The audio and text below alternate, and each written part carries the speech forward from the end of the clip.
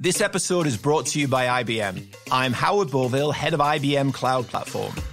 Last year, cybercrimes cost the world $6 trillion. To address today's threats, clients need technology that gives access to data without compromising it.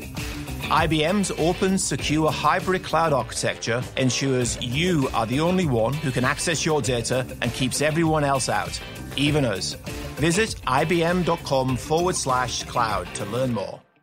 On this episode of Winfluence, that is a really smart approach, wanting to layer in that strategy from the beginning.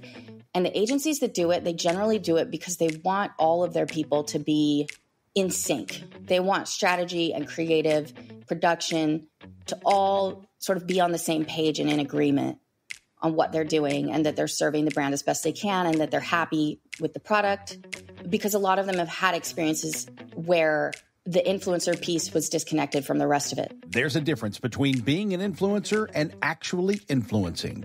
I'm Jason Falls, and in this podcast, we explore the people, companies, campaigns, and stories that illustrate that difference. Welcome to Winfluence, the influence marketing podcast.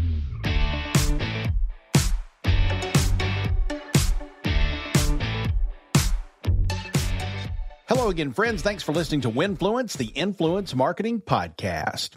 The world of social media and content is changing again. It does that every so often, unfortunately, more often than we probably care for it to do so. Where Instagram, then Instagram stories were the content du jour for influencers and thus brands a year or so ago, now our focus is on snackable vertical video. Thanks, TikTok. Actually, platforms like TikTok, Instagram Reels, and YouTube Shorts are just a continuation of the evolution of what consumers consume. Now, we can get into a chicken and egg discussion about what caused this. Did the social networks prioritize vertical video content that forced people to consume it, or are people really so dumb they can't turn their phone 90 degrees and watch a video the way it was meant to be viewed, horizontally? The cause doesn't matter. The effect is in full force. TikTok is currently the dominant social content channel and mechanism consumers are spending time with. Instagram has responded with algorithm changes and outright guidance that short form video is its priority. That presents an interesting challenge for brands and agencies whose creative departments are art school grads and cinematographers. That also created the space influencers and online content creators needed to emerge as highly relevant and useful partners for those brands and agencies. Where traditional creatives have perhaps been slow to adjust to creating short form, snackable, and vertical content, TikTokers and Instagrammers have jumped in. Lena Katz and the team at Ampersand recently announced an interesting solution and approach to that agency creative gap for this content demand. Lena is the content and creator strategy lead at Ampersand. It is a production company that works on video and film productions from big budget commercial shoots to TikTok like snackable videos. A few weeks ago, Ampersand announced an offering for its clients called Creator Integrated Services.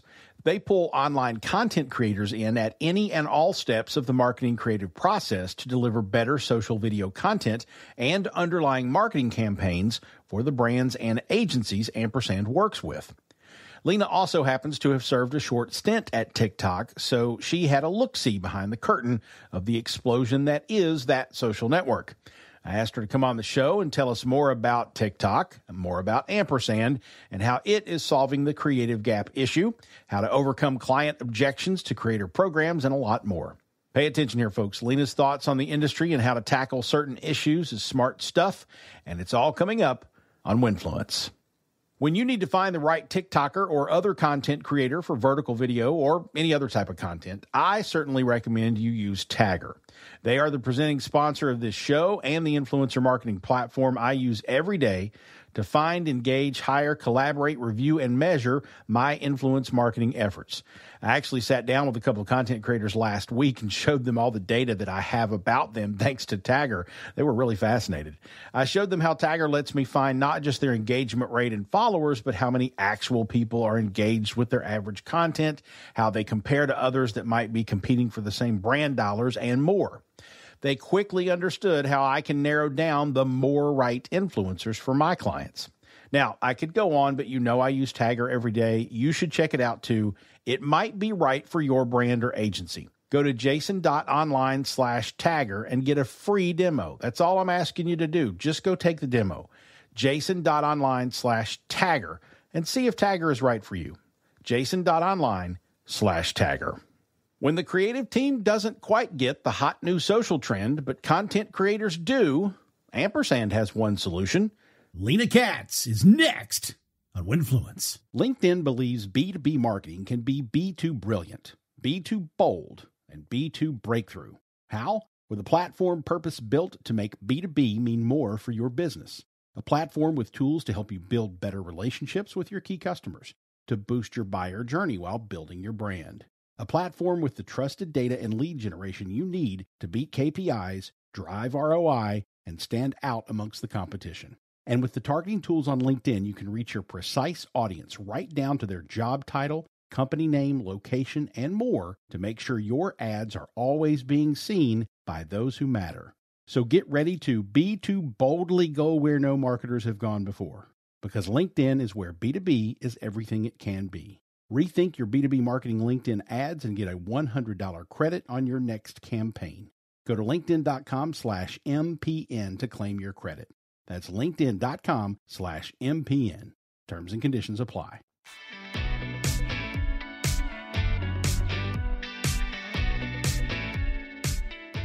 Lena, I know this uh, was about a year ago or so, and it's certainly not the most interesting thing about what you do, but I just have to ask what was it like to work with TikTok? You were there on contract for a few months, and I would think it was pretty exciting to be attached to the rocket ship. Yes, it was. So, working at TikTok for me was a pivot of my entire career. It was intentional. I had been kind of, I had been a consultant to Fortune 500 company and some other pretty big companies for about four years doing content strategy um, and specifically creator strategy, creator campaigns. And Instagram was getting monotonous. And TikTok was constantly coming up in conversations. There was a lot of curiosity around it, a lot of excitement, but a lot of people, including me, just feeling like we didn't really have a handle on it. So, and I kept having this feeling that I was like paddling around on the outside of this huge mm. ocean and I couldn't get in. So when I saw the opportunity to go into creator strategy, which is the very small department, small team that handles all the all the biggest advertising campaigns with creators integrated, that they just handle the creator side of it. So that was a must for me. I didn't really ask very many other questions about how senior do you need to be and, you know, exactly where could this go? And I didn't care. I just put everything else on pause. I told my other clients I'm I'm transferring everything over to someone who works for me so that we can kind of firewall what I'm doing. And I jumped and landed right in the middle of TikTok. it was it was like the steepest learning curve ever. It moves faster than I've ever seen. I, it moves faster than you can imagine. Just the way that products are being developed, the way that things are being brought into the market, the speed that campaigns are executed, there's no comparison. So that's what it was like. It was actually was kind of emotional the first week because it was a lot and because once you get in there you realize how many thousands and thousands and thousands of creators are out there that are so brilliant and undiscovered. And if you're like me and you love the creativity of that world, I always compare it to like jumping into like the Disney Ocean and there's all these amazing new animals floating around. So that's what it was like. I wanted to actually go back out into the larger world of advertising and marketing, which is where I came from, because I wanted to be able to continue to work cross channel and work across all platforms, work, you know, on if it's a digital spot, I wanted to be able to, to do that. And it was hard for me to be restricted to only one platform when I, I really felt that these creators deserved so much more exposure. And everyone agrees with me, but you just couldn't do that within TikTok. It was only TikTok, which of course is to be expected. But I wanted to I wanted to scale things up with every campaign. And so I had to go back out into the big world and now I'm back to doing that again. Awesome. Well, it's it's it's interesting to hear that perspective because from the outside looking in, we always think about, oh, you know, TikTok's figured out a new way to do the algorithm, and it's a you know different mechanism, and consumers are so engaged with it. But it's interesting to hear the perspective of even their internal workflow and the way they do things is very different. So, speaks a lot about what they're doing, which is really cool. So I know that your career has encompassed a, a, handful of roles in companies. You mentioned that you know you've been writing for you know some Fortune 100s or 500s or whatever. You've always been kind of rooted in content creation, whether it's creating that content yourself or working with other people who have. How would you define what you do, not in terms of your current job, but kind of what's your superpower? What do you bring to the marketplace? I started off as a writer, copywriter, lifestyle journalism, content, longer form content. Spent half my career doing that and felt like I maxed out with my voice. I had reached the limitations of what I could do with it and I was bored with it. So I jumped into casting because I was looking for something else to do. I was bored with myself. So I started engaging other people in a different way, not interviewing them, but trying to bring out something else in them, their storytelling. The more I did that, the more I got really into it. So now what I do is I engage the very best voices to tell a story or to paint a picture or whatever it might be. And I deploy them to do that. So it's still storytelling, it's still getting messages out there. It's just that now I'm a little bit more, more behind the scenes and I find people who can do it 10 different ways and they're all coming at it a different approach, their own approach. And together they make a much more compelling whole than if uh, it was just one person doing it themselves. So you I want to talk now about how that manifests itself and that skill and superpower manifests itself in what you're doing because some news recently. You're at Ampersand, which is a you know production company, which serves a very very important role in the world of advertising, but also is becoming a more and more important role in the world of influencer slash creator content support, whether it be for the brand or for the creators. But I want to give you the opportunity to give us a little definition to ampersand and what it's doing because it can do a lot of different things. It serves an, an interesting role in the landscape. So give us a, a little peek inside what ampersand is and where it sits and who it serves.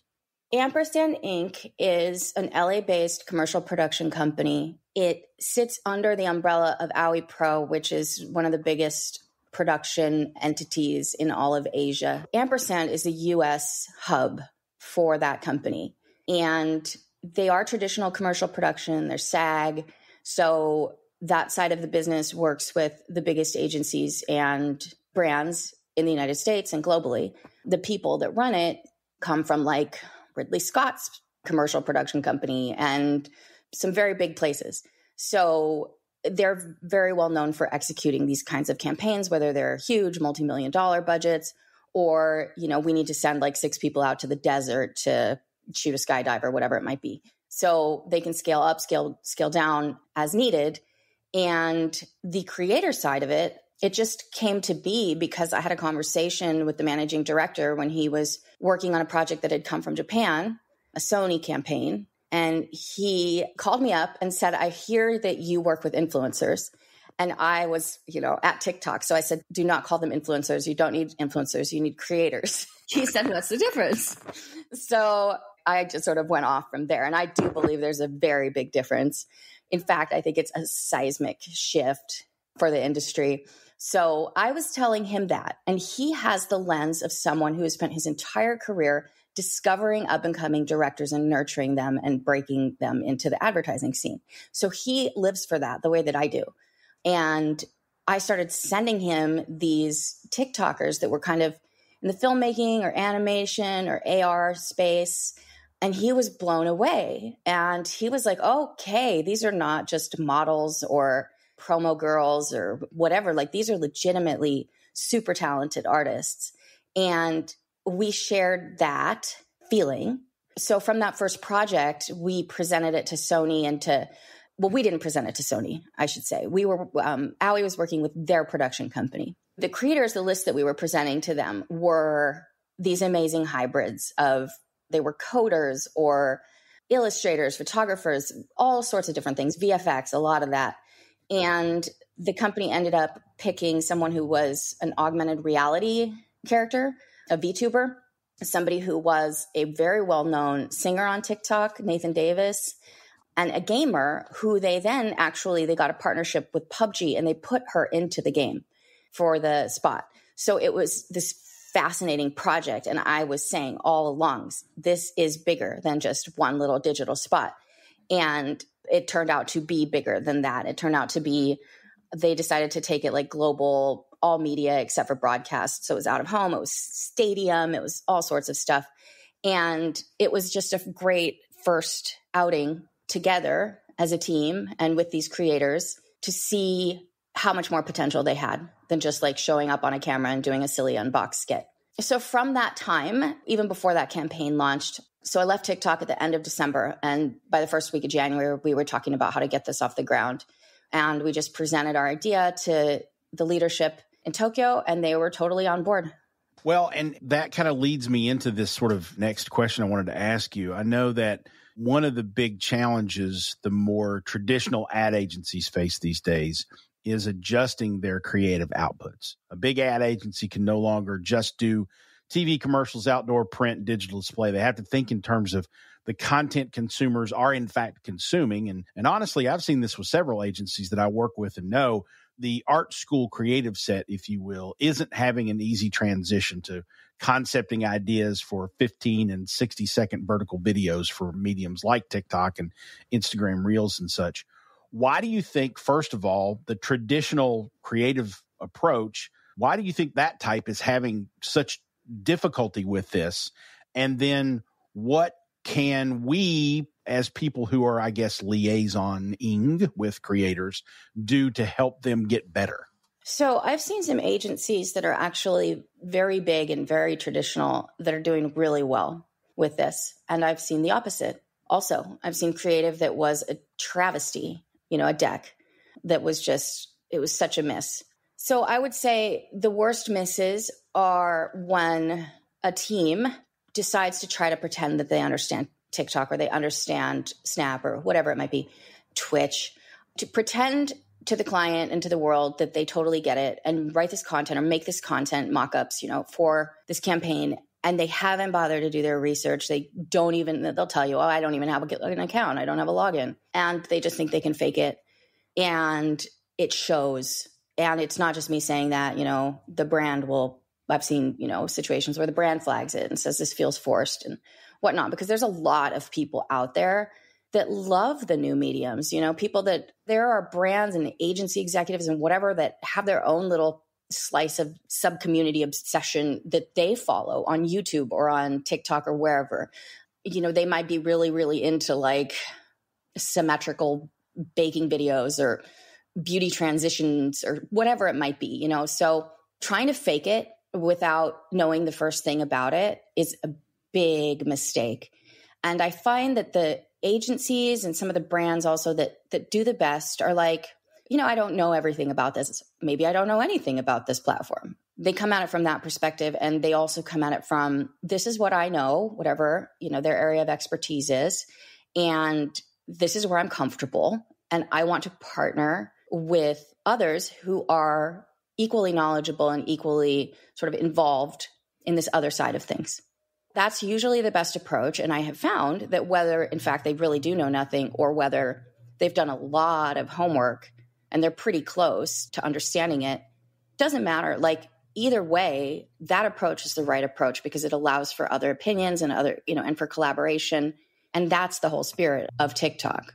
Well said. We're talking to Lena Katz from Ampersand. When we come back on Winfluence, I want to get into a little solution that that company, the production company she works with, uh, has formulated to help solve these problems in the marketplace. Stay tuned for that.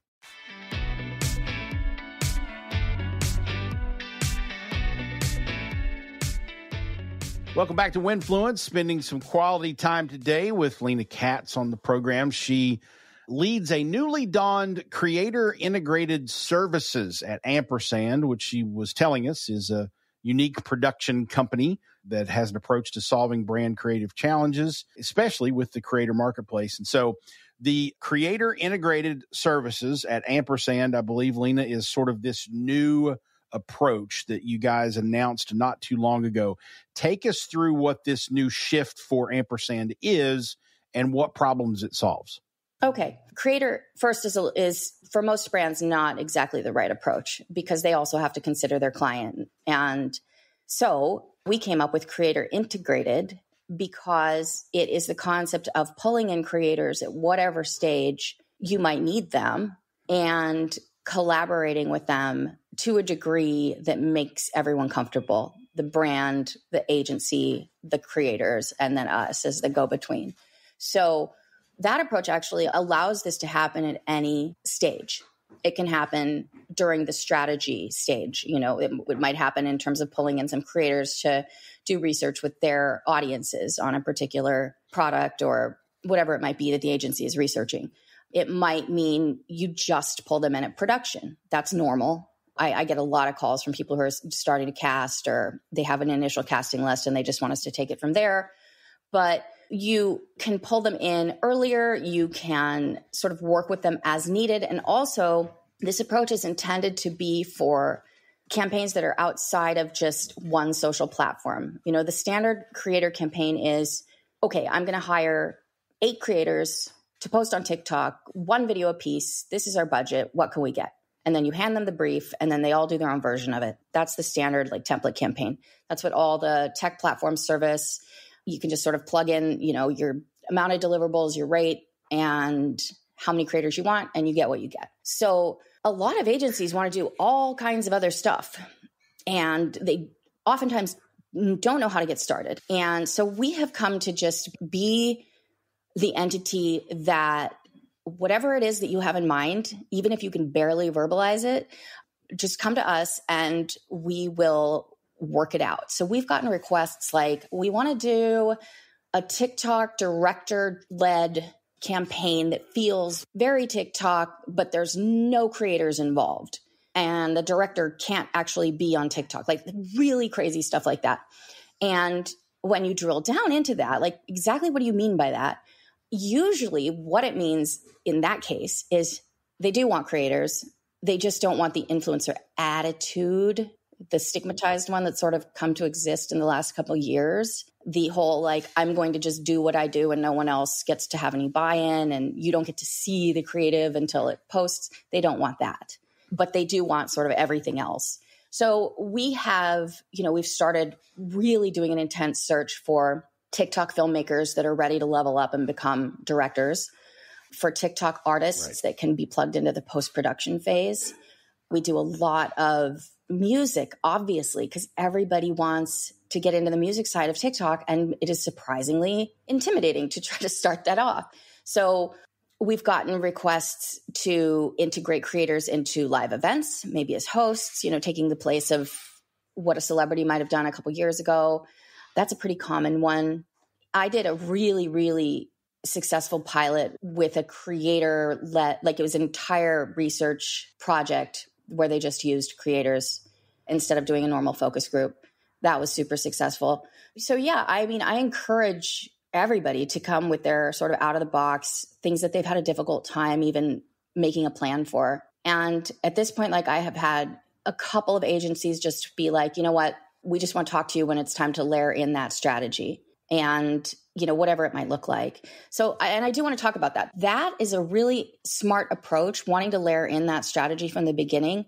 And the agencies that do it they generally do it because they want all of their people to be in sync. They want strategy and creative production to all sort of be on the same page and in agreement on what they're doing and that they're serving the brand as best they can and that they're happy with the product. Because a lot of them have had experiences where the influencer piece was disconnected from the rest of it and that doesn't work well for brands a lot of times. And you know to that point um, you know one of the things that i've complained about especially in the influencer content creator ecosystem where you've got managed services and you've got software companies and whatnot a lot of people will will say we're going to do influencer strategy for you but they're completely disconnected from the overall marketing strategy. They're completely disconnected from the overall brand or business strategy.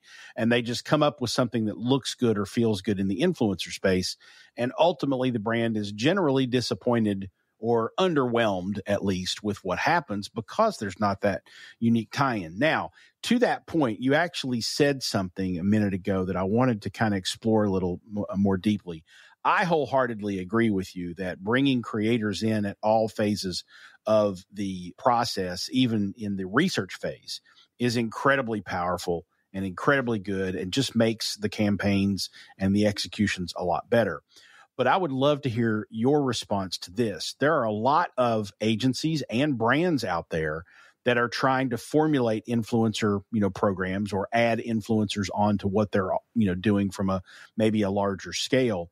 And when you say to them, well, you know, you should really incorporate the creators early in the process, you should bring them to the table as a focus group, or you should have them maybe even survey their audiences to inform the creative decisions you're making and the strategic decisions you're making. And there are a lot of agencies and brands out there that when they hear that, they're like, why? We just want them to post content that we give them. What do you say to someone who doesn't quite get the power that they're missing out on? The whole notion of producing content and then asking a creator to post it is broken from the jump because most creators do not want to post an ad that's already made by someone else on their channel. Even if they're super brand friendly and they love to do collabs and they live off them, they still do not want to do that.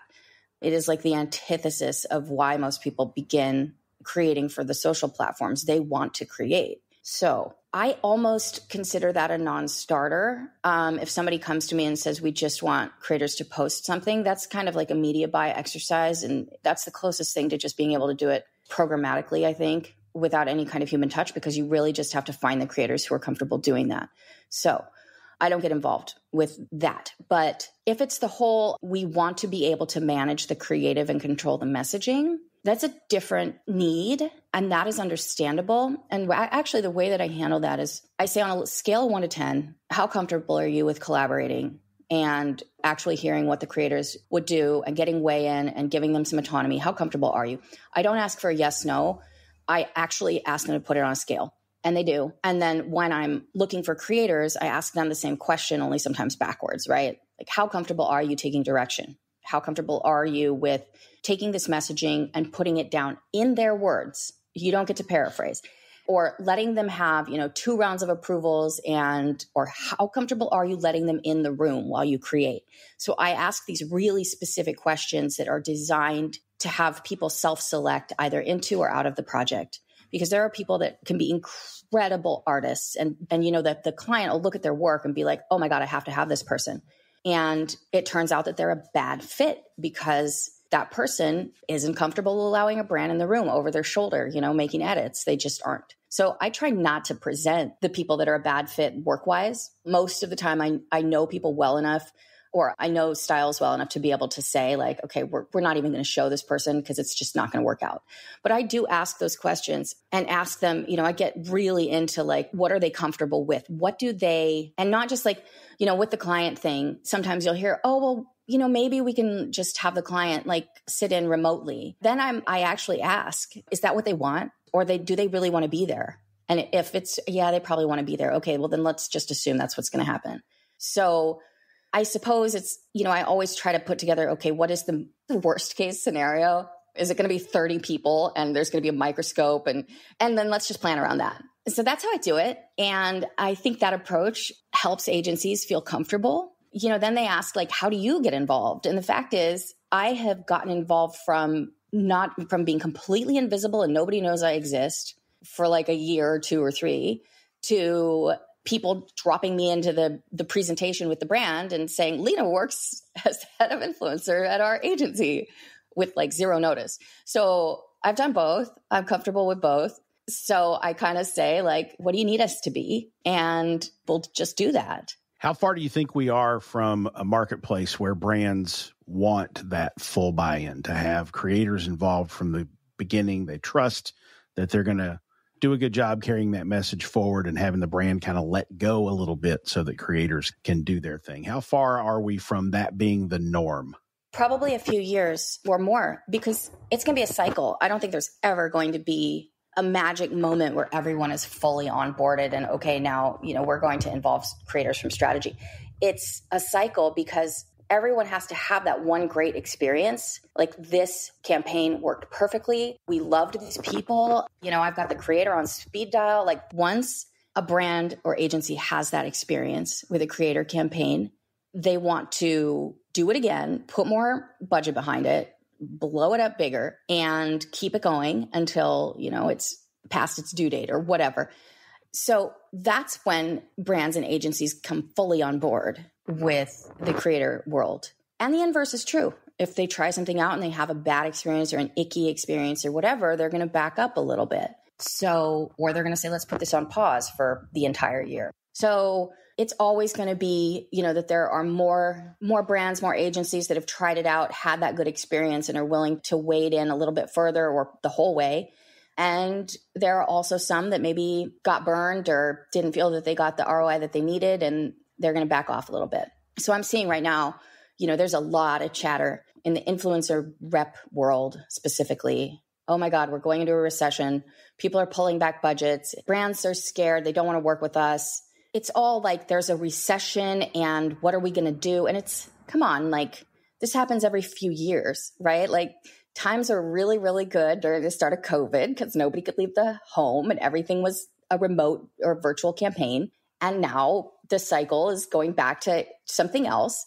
So all that's happening is if you work in the creator space and you want to sell campaigns, you need to prove them out. Prove out why does this creator deserve X amount of dollars a post. Or if that's not the kind of campaign that the agency and brand are doing, figure out a way that you can sort of integrate into what their actual plan is. So that's all that's happening right now. It's just the pendulum swinging the other way. And also, there is sort of an inevitable movement to influencer marketing, creator marketing becoming just a normal part of any marketing plan. That's happening bit by bit by bit by bit. And the way that it's happening, you can see it. It's going from, okay, we're going to let our PR team handle this and, you know, try to gift 100 people and see what happens to we're going to actually push some marketing budget. You're going to take it out of what we were spending like on digital ads and we're going to put it toward a media buy on TikTok. All of a sudden, budget is being shifted into the media and the media buying vendors. And it's also being shifted into, you know, we get a lot of calls from production the production side is handling these campaigns for the ad agency where it used to be farmed out to PR or whatever. So we're seeing that it's being handled by performance marketing a lot for the direct consumer companies. So that means that budget is being moved from other places and it's being moved to more departments and whatnot within marketing. And for some people, that's scary. You hear a lot of, oh my gosh, I hate working on performance marketing campaigns because I they all want us to show sales and we can't show, you know, we can't do that. Well, this is actually a good thing that this is happening. You just have to be able to now you have to up your analytics game. Lena, what are brands still doing in the marketplace right now with regard to creators and whatnot that they shouldn't be doing? They are going to the easiest places that they can think of to find talent, i.e., the big agencies, or running a, a, a search on their tech tool and they're coming up with the biggest names that they can find and then they go to them to get rates from their rep and they get these astronomical rates and then they get scared and say we can't do this. That's the wrong approach. I think that if if a brand really wants to run a campaign and they are not looking for marquee names then they need to really get into either hire a specialist that knows how to do it or get into TikTok creator marketplace themselves and really become familiar with the tool and, and the analytics and, and what it can do. And start looking for creators that are not at that first level of fame yet, but are maybe two or three steps back, but that have certainly their own authentic following and that might be better at, at, storytelling. They just haven't been discovered yet. And then when you find them, know what you, your rate is that you can afford and be willing to have a conversation or let someone have that conversation for you and you know approach it that way and start trying to f- discover good partners rather than just casting this uh, one time net and then getting disappointed with what c- comes back to you. Great stuff. Awesome. Lena katz where can people find you and ampersand on the interwebs? Ampersand is ampersand inc very important dot com. I am there and um, i'm just lena katz on linkedin and lenakatz.com is another way. thanks for sharing some wisdom with us, Lena. I feel a lot smarter today. I'm sure the listeners do too. Appreciate you being here. Thank you so much for having me. Really good stuff there from Lena. Glad you could hear what she has to say and how Ampersand is solving for that gap in what a brand or agency might have and not have when it comes to building short form, snackable video content for today's social consumer. I'd love to know how your agency is faring on the TikTok Reels, YouTube Shorts front. Pop me an email over to jason at jasonfalls.com. Let me know if your firm or your brand is still struggling creating your own content there. Are you tapping influencers and content creators to do so? Let me know. Jason at jasonfalls.com. If I feel like your perspective is good for everyone to hear, I'll certainly ask your permission before sharing. But I'd love to know just how are you faring with this? TikTok, Reels, YouTube Shorts. Is your creative team at your agency having trouble with it or are they knocking it out of the park? I want to hear that too. Let me know. Jason at jasonfalls.com. Speaking of permission, which I will get yours before sharing any of that if you email me, I'd like to ask well, okay, it's really not permission. It's really just asking for a favor. Help me spread the word about Winfluence. Tell someone who might want to know more about influence marketing about this podcast. Send them to winfluencepod.com or share a link to this episode on your social network of choice. If you have a moment, drop Winfluence a rating or review on your favorite podcast app. We are on all of them. You can also help make a future episode of Winfluence awesome. Ask your question about influence or influence marketing that you want my answer to or take on. Send an email to jason at jasonfalls.com if you're feeling adventurous. Record a voice memo on your phone and email me that file. I'll let you ask the question right here on the show using the recording. Winfluence is a production of Falls and Partners. The technical production is by podcasting360.com. Winfluence airs along the Marketing Podcast Network. Thanks for listening, folks. Let's talk again soon on Winfluence. Winfluence, the Influence Marketing Podcast, is an audio companion to my book, Winfluence Reframing Influencer Marketing to Ignite Your Brand. Get your copy online at winfluencebook.com. While you're there, sign up for the latest ideas about influence marketing delivered in my periodic newsletter, or book me to speak to your company or organization about influence marketing. And if you need help with your influence marketing strategy, drop me a line at jason at jasonfalls.com. If you or someone you know is an influencer, a brand manager that uses influence marketing, or one of the many amazing people working in the influence marketing services world, and they would make a good guest for the show, email me at jason at jasonfalls.com. Our theme music is One More Look by the K Club and Grammy Award winning producer Jacquire King. Thanks for listening, and remember, when it's not about the person, but about results, it's Winfluence.